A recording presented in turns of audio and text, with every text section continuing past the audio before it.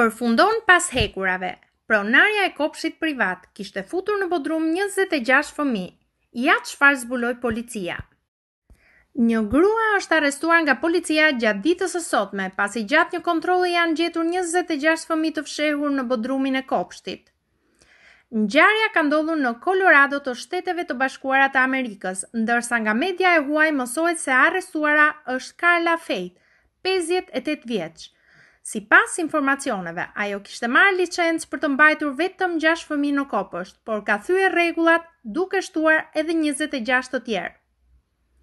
Duke qenë se kishte dyshime për diçka të tillë, inspektorët e vizitonin shpesh kopshtin e saj për të zbuluar si qëndronte e vërteta.